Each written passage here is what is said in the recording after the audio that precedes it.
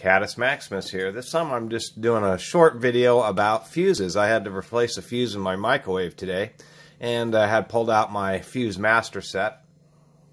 So I decided to make a video. Also, my previous video about wire nuts, I forgot an important point that was mentioned more than once in the comments is that when you are using wire nuts, uh, make sure to pre-twist the wires. Take your linesman's pliers get them on there and twist those wires up. It's a little bit more difficult when you're dealing with uh, solid core wires. Sometimes you got to bend them over to make a little Y shape, but you do want to twist them together like so before you actually put on the wire nut and it makes a more secure connection.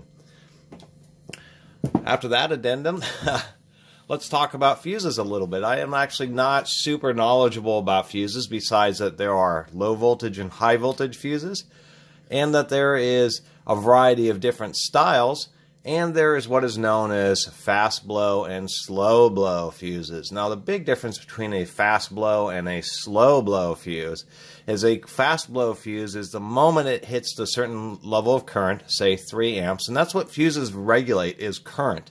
They don't regulate voltage. The voltage rating on fuses is for the, they put it in the best terms safety. If you have a fuse that's rated at, say, 32 volts, and you use it in a 250 volt circuit, it, many times in a pinch, it, that will work fine. But the reason it's a safety concern is that a 32 volt fuse may not have the insulation rating. So even if it does blow properly, you can actually get arcing inside the fuse because you have far more voltage than what it's rated for. And it's a safety concern. The other thing is in either high temperature or uh, applications such as microwaves where there are very high voltages that are stepped up, they use ceramic fuses like these. Instead of having the quartz shell, they have a ceramic shell, and that is important. If you have a place where there is a ceramic fuse, such as in a home appliance, you really do want to use a ceramic fuse to replace it. And they are harder to find and are a little bit more expensive. Now, circuit breakers have taken over for household, and you know, only if you're in a very old kind of uh, house or building where you actually still have threaded in fuses or large style barrel fuses such as these. Or, excuse me, similar to these. These are small style barrel fuses, and these are actually still used quite often in a variety of equipment just because they're just uh, the next size up from what is considered a standard AGC fuse. Now this fuse size, there's basically this size, there's some short ones which I have mixed in here. I dropped this once and that's why it's all jumbled up. It's really unfortunate when you drop a kit like this because it's pretty daunting to actually sort out everything again. And they do have models like 312, 313, 314, which helps you identify the uh, particular grade of fuse, I should say, or what its intended purpose. But these are still used. These uh, smaller barrel type and lots of heavy equipment, power conditioning equipment. I have some uh, heavy duty power conditioners that use these style fuses, and so that's if you run into these, that's uh, they're just a standard barrel fuse, just a larger version than what might be the traditional size people run into. There's of course automotive blade fuses and many people are familiar with these. There are a few other styles, such as big square plug-in ones. These are the most commonly replaced are these blade fuses because they're used in many other applications besides automobiles. Everything from power inverters to your car stereo amplifiers usually will use this mid-size, this three-quarter inch blade fuses, and they come in a variety of amperages, usually stopping at around 30 to 40 amps. And if anybody didn't know, a fuse is just a couple of blades with a specially sized piece of wire. So when too many watts are going through, the wire, the resistance of the wire heats up and causes it to melt, thus breaking the connection like a switch. And that's how they provide safety. And then there are just these tiny ones, which are a little bit more common on modern vehicles. Now, you may have a situation where you have some faulty wiring or, uh, say, a cigarette lighter adapter where maybe you're powering a laptop or something, and occasionally it blows the fuse. It's not a shorted wire, although it could be wiring that's going out. But you constantly are blowing fuses, and you know it's because you the laptop was just starting up or something along those lines. Or you had too many things plugged into an inverter. Well, they do make circuit breakers such as these, which actually they don't fit in all situations. These are a couple of 30 amp versions and they have the same tines as regular blade fuses, or these three quarter inch blade fuses, as we can see here. And that's they're self resetting. They heat up when they hit you know their rated current, such as 30 amps. They disconnect like a household circuit breaker, and then when they cool off, they automatically re enable themselves, and you can go about doing your business. And so they can be handy, and it's nice. They do sell these at auto parts stores. They do have more compatible versions for the small blade fuses.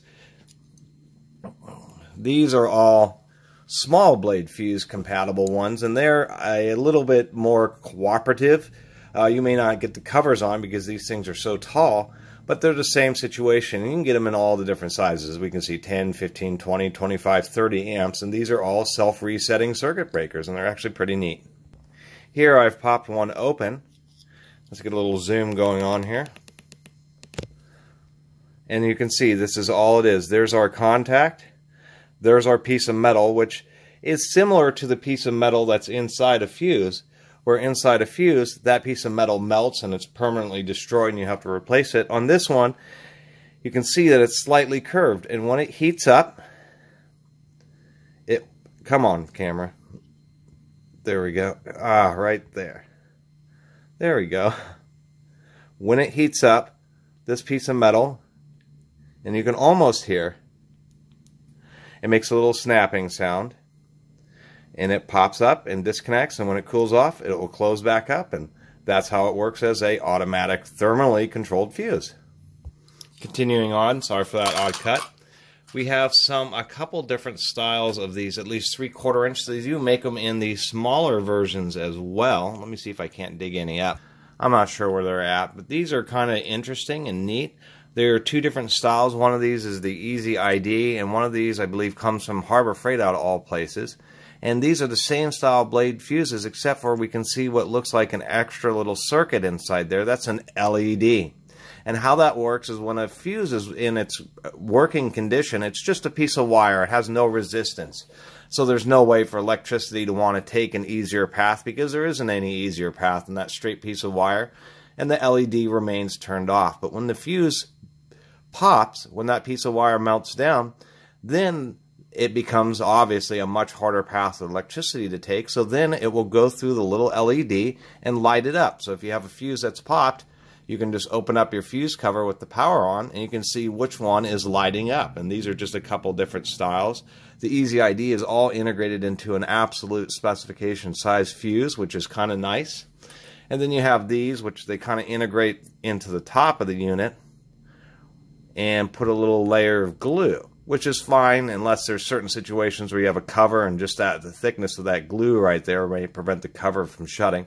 But those are just two different styles of the same thing. LED indicating fuses. And I don't know if I mentioned, but Buss fuses and Littelfuse are the two giant, you know, the two giants of the industry, and then there's really everybody else. Just you know, for your information. And then we have a variety of fuse holders. These are just some quick little snap-on ones where you just take two pieces of wire, stick them on each side, snap it closed, and then it actually becomes a blade fuse holder. So those can always be handy. This is a little blade fuse puller tool. Where is this? Oh, okay, that was a little Chinese one. That was American. And then we have like these where you can solder or wire crimp them in line. These are a bit heavier duty, rubberized uh, fuse holders, and I even found some American made ones, so I was pretty happy about that. And then last but not least, we'll take a look at a variety of these different fuses because they all do the same thing. And one thing you don't have to worry about, besides being the ceramic ones, which you do have to worry about, we can see that there's a variety of different uh, shapes of elements depending on the voltage rating as well as the current that they're supposed to regulate or protect against. And we can see we have a variety of different types from like flat blade style. This one's really complicated where it has a couple pieces of wire in a little soldered bracket with the spring on it. So when it heats up too much, the solder melts and then the spring retracts and breaks the connection. We have some like this, which is a spiral kind of wrapped around a fibrous material. We have wavy ones that's a, a heavier duty spiral. And then we even have ones like this, which are just a metal rod.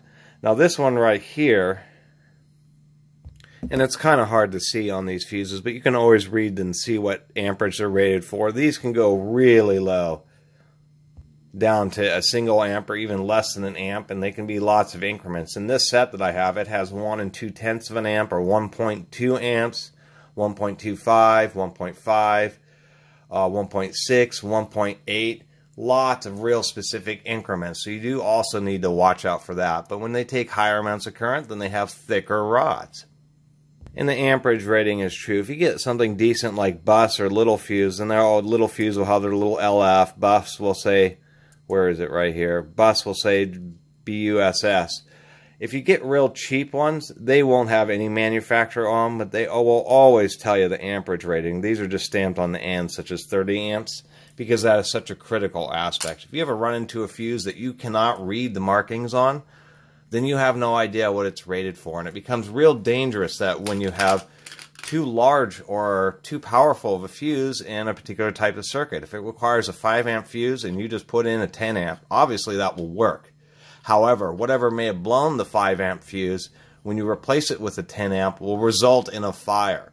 And that's the whole point of fuses is to prevent fires and damage. Anyway, I actually hope that several people will comment about fuses because my knowledge, you know, is pretty limited, but I do have a variety of them and just wanted to put out the information that I know about them as well as, of course, show what a master set of fuses might look like. And it's always handy because when I pop a fuse, it isn't uh, the kind of situation where I'm hunting around, got to find just that right fuse. I dig up this kit and I replace it quickly, and that uh, actually has helped me out, you know, make a living many times just because I have this reputation for having these types of kits.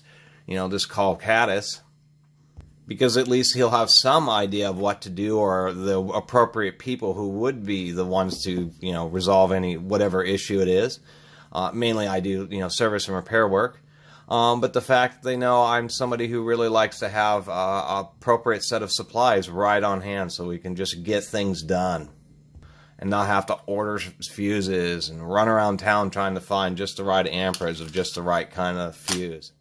Anyway, uh, that's the end of this Fuse video. Uh, I certainly have plenty more videos coming up, and I really appreciate everybody who's been subscribing. And if you haven't subscribed to the Catus Maximus channel, please do subscribe. Until next time, Catus Maximus out.